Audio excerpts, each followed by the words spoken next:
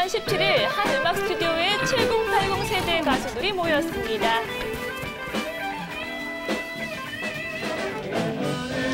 그룹 높은 음자리의 멤버 김장수 씨. 오랜만에 보인다. 바다, 바다새. 맞죠? 높은 음자리요. 높은 음자리. 아, 높은 음자리. 문화계에서 다방면으로 활동 중인 유연 씨. 원미연 씨. 그리고 원미연 씨의 모습도 보이는데요. 모두 어쩐 예, 일이세요? 작품. 아, 모였었어요. 높은 음자리다, 맞아. 아마 기억하시는 분들 계실 거예요. 그때는 저희가 한국에서 처음으로 한번 우드스탁 같은 그런 공연을 해보자 그래서 20년 만에 저희가 정말 뜨거운 마음으로 다시 모여서 준비하고 있습니다. 네, 이분들의 공통점 아시겠죠? 모두 대학가요제 출신이라는 점인데요. 아, 이정수 선수. 대학가요제를 통해서 샌드페블즈와 높은 음자리, 전유나 전람회 등 많은 스타가 배출됐죠. 그랬죠. 본선에 나온 분들 중에 네. 우리가 1등을 점쳤을 때 저바다의 노어를 우리가 1등을 점 일등이- 많지 일등이- 않았어요. 어, 그날 저희들이 이제 여의도에서 그 이제 행사장으로 옮기는 버스 안에서 낮에 잠시 짧게나마 첫눈이 내렸어요. 그래가지고 버스 안에서 약간 요동이 있었거든요.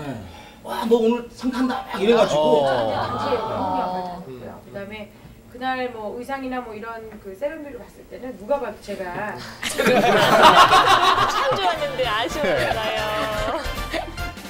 대학가요제의 명곡들이 있는가 하면 대학가요제가 배출한 뮤지션들이 어, 칠갑산에. 예, 어.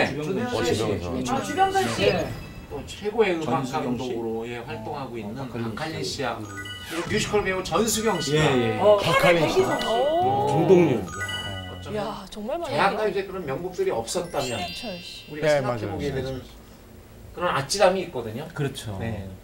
이번 공연은 어쩌면 그런 것들을 대학가요제 가치를 돌아보게 하는 그런 공연이 되지 않을까 싶어요. 현재는 오디션 프로그램이 각광을 받고 있지만 그 추억만큼은 대체할 수 없을 것 같아요. 네. 세대와 세대를 잇는 장이 마련될 이번 공연 신해철 씨도 참여하신다고 합니다. 이번에 무한궤도가 뭐 무대에 서는 게 아니어서 그래서 넥스트가 그 얘기를 하죠 결국은 지난 1988년 그대에게로 대상을 차지하기도 한 신해철 씨. 예. 인기 정말 많았거든요. 자 이번 공연에 대해 하고 싶은 말이 있다고 노래방 하시는데요. 가서 자녀들한테 어, 나도 엑소 노래 안다라고 해봤자 애들은 먹어주지 않아요. 그러니까 우리 세대 음악은 이런 것이다라는 걸 애들한테 들려주는 게 더 좋지 않느냐. 자녀분들 대동하고 오시라 일상이었습니다. 네. 대학가요제가 갖고 있는 순수함, 대학가요제가 여러분과 함께 나눴던 시대 정신, 그걸 뜨겁게 노래했던 그 젊음의 시간들을 제가 다시 오늘 함께 나눠보는 겁니다. 그래서 참새와 참새와 지금이야 아, 맞아요. 맞다, 참새와. 오히려 꼭 있어야 합니다.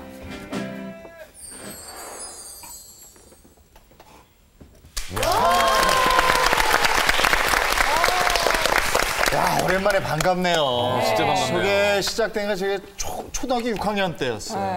그러니까 흑백 텔레비전 시대에서 칼라 텔레비전으로 넘어가서 36년을 우리와 같이 대학가요제였습니다. 근데 뭐, 그때 야. 당시 노래는 뭐 지금 들어도 네. 너무 좋아요. 지금도 그냥 이렇게 눈 감고 반주만 나와도 이렇게 가사들이 그냥 네, 저절로 네, 나오잖아요. 네. 그만큼 뭐 그 대회가 끝나고 나면은 그 다음 날은 그냥 그 노래가 전국으로 퍼졌었거든요. 맞아요. 왜냐하면 네. 그때는 그거 진짜 추억이었어요. 네. 그때 70년대 후반에 시작돼서 80년대 최고였죠, 아마. 그렇죠. 그때 대학가요제를 네, 통해서. 저도 80년대 중반에 나왔습니다. 그렇죠. 예, 저는 이제 입상에 그치긴 했지만, 네. 네. 제가 나왔던 애 이제 높은 음자리 조금 전에 보셨던 네. 그 김장수 씨. 짭바따 예, 그렇죠. 아니 근데 그러고 보면 참 원면 씨 너무 구석구석 안 나오시는 게 없어요. 하시는 것 아, 같아요.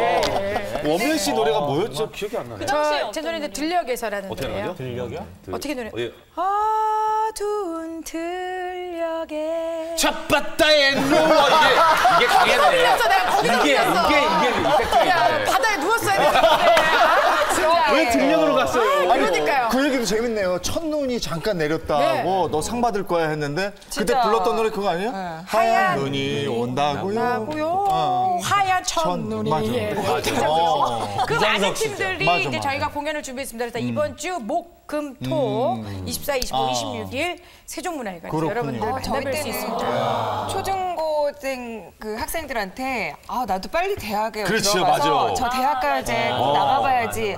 저도 그랬었는데 대학은 갔는데, 노래가 안 돼서 제가 그렇게 해서. 대학을 가게 된 케이스예요. 그렇군요. 지금도 그 노래들이 다 추억이 돼서 요즘같이 이렇게 막 들녘에 노랄 때 네. 허수아비 보이고 막 이러면 맞아요. 뭐 참새 허수아비 아까 나왔지만 그럼요. 그런 노래도 생각이 나고 이재용 씨는 어떤 노래를 제일 좋아하세요? 네. 대학가요제 노래 중에. 저는 그 노래 참새 허수아비 노래도 기억이 나고요. 내가 말 없는 방랑자라면 이 세상에 돌이 되겠소. 분들을 다 무대에서 안 만나실 수 나가셨어요. 있습니다. 그 대학- 예. 아니 저는 그때 대학교에 이제 기타를 칠 줄 알아야 나가는 줄 알았어요. 네. 그리고 같이 가지는 사람도 없고. 그 제가 이분은 아나운서가 되면 안 됐어서 이분은 가수 내지는 배우가 되셨거나 아니면 개그맨이 되셨거나 그럼 더 떴을 거예요. 아니, 그룹 사운드로 하면 딱 싱어. 그게 그 스타일이세요, 노래. 아이 한 노래 하는데. 그런 추억 없어요? 아니 지금 중견 가요제 같은 거 만들면 안 돼요? 네. 그거 재밌겠네. 중견가요제. 중견가요제 하면요. 제가 사회 볼게요.